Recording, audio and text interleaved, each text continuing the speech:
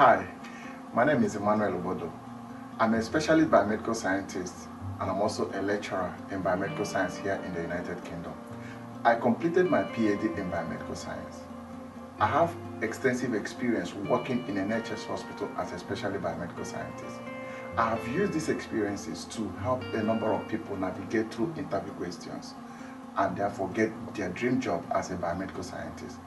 I'm here to help you navigate interview questions, thereby increasing your chances of getting a job as a biomedical scientist.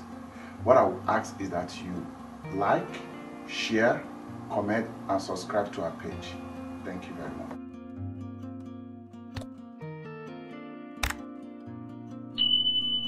Hi everyone, so um, today we are going to be looking at blood transfusion. So we are starting today, okay? I know that many of you have been waiting to hear something about blood transfusion. Honestly, I left it towards the end because we are going to be talking a lot, okay? So I really want to make sure that I give it the detailed attention that it requires. I know that it's one of the challenging questions when you go for your interview. Don't worry, I'm going to navigate you through each of the questions and you will be fine, okay? So let's get into it. Today, I'm going to start with sample acceptance. Can I just give you a little story? In NHS hospital, we have specimen reception, okay? In the specimen reception, they are the one that can receive sample for hematology, biochemistry, coagulation, microbiology, immunology.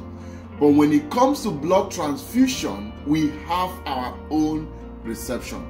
In fact, it will interest you to know that it's, it's biomedical scientists that can also be the specimen reception that will also work in the specimen reception. So when you come to the blood bank, a biomedical scientist, it doesn't matter whether he's a specialist biomedical scientist or a senior biomedical scientist, they can be in specimen reception because we treasure that very important. Okay, so when it comes to blood bank, yes, anybody can work in specimen reception, unlike maybe another department. Okay, so now what do we mean when we say sample acceptance? You may go for interview, they ask you, what is a sample acceptance in blood transfusion? This is your answer. When they ask you that question, they are looking at identifiers. I'm also going to try to tell you that in other department or other unit like hematology, okay, we want maybe at least two identifiers. Maybe once we have the full name, NHS number, or hospital number or date of birth, that is fine. Any of them is fine, okay? But when it comes to the blood bank or blood transfusion, we want the three identifiers. We want the name correctly written. For example, in hematology, even if they make a mistake with one letter of the name, we may still accept it, provided that the NHS number is correct or hospital number is correct, or maybe the date of birth is correct or something like that. But when it comes to blood bank, we are very strict. The name must be well written. For an example, you know that Stephen can be spelled as S T E V E N, and also you can spell Stephen as S T E P H E N. If the person's name on the record is V E N and you use P H E N, we will reject it. Okay? Also, if you look at Williams, some people's Williams can be spelled as W I L L I A M S. If you go and write William, which is W I L L I A M, no S.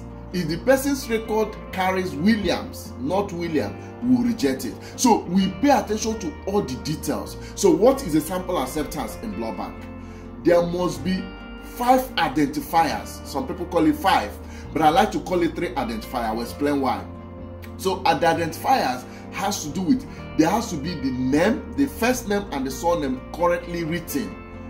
Okay, then the date of birth must be correctly written.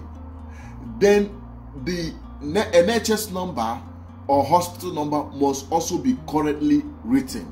Okay, for me, that is a three major identifier, but people call it five identifier because in blood bank we want the phlebotomy or the nurse or the doctor, whoever that collected the sample, we want the person to sign it and also put the date. Okay, so you can say the identifier of the sample can be five, the name of the patient, correctly written first and the second name, and also the date of birth, the hospital number or NHS number, and the person that take the sample need to sign it and date it.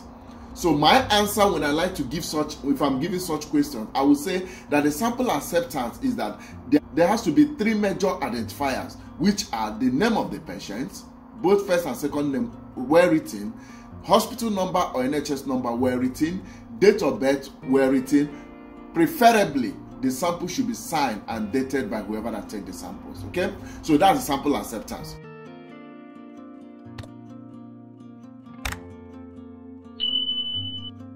The next thing I would like to talk to you about is the blood product within the laboratory, within blood bank. Unlike in other countries where we transfuse whole blood, we don't transfuse whole blood here. We transfuse the blood in parts. So we transfuse red blood cell differently. Then we transfuse platelets, we transfuse cryoprecipitate and fibrinogen. Okay, so they are the different blood products. Okay, now meaning when you want to transfuse, remember that in blood antigen A and antigen B, you will see them on the surface of the red blood cells, while antibody A, antibody B, you see it in the plasma. Therefore, when you are issuing blood, if you are issuing red blood cell, your concern should be the antigen, and if you are issuing other product like FFP, cryoprecipitate, or platelet, your concern should be what? Antibodies. I'm gonna look that in detail. But for today, I want us to look at the storage condition of this very product. Number one, what is the storage condition of the red blood cells? Okay, the storage condition of the red blood cell is between 2 degree to 8 degree. Between 2 degree to 8 degree. Sometimes they may want to ask you something about what if the temperature is now like 7 point something what are you going to do or maybe it's like maybe maybe 2.2 what are you going to do listen in the nhs hospital we set the fridge so once the the temperature start going above you know it's supposed to be between 3 4 something like that. Once it start going like 5 6 or maybe start going like maybe 2.5 okay the thing will start alarming. It is up to you to start investigating why. So you need to take care of the situation before it gets to maybe 8 or it gets to what 2 anyway the storage condition of red blood cell is between 2 to 8 degree okay? Now what about platelet platelet is stored at the room temperature which can be between 20 to 22 degree as well okay?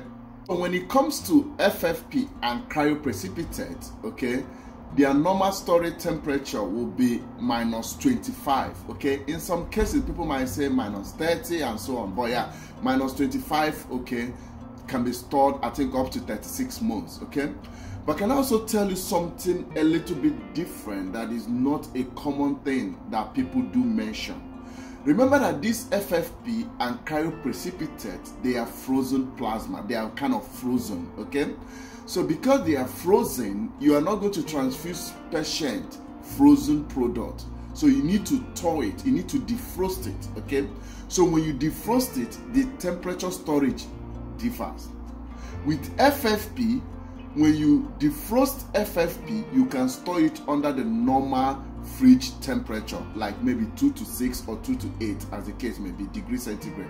So you store normal FFP that is defrosted, you can store it in a fridge. You can store FFP that is defrosted or thawed, you can store it in a fridge between 2 degree to 8 degree and it should stay up to maybe 24 hours. In some places, they want it to just be 20 hours, okay? But 24 hours is okay. While when it comes to cryoprecipitate, if you talk cryoprecipitate, please don't put it in the fridge. So for cryoprecipitate, if after you've defrosted it or you've thawed it, the temperature storage is a room temperature, which can be between 20 to 22 or 18 to 22, depending, okay? But then it has to be used within four hours. So that is for cryoprecipitate, okay? Can also give you additional information when it comes to platelets, okay? Platelets, remember that platelet function is for blood clotting. So we don't want the platelet to stay one place like other product.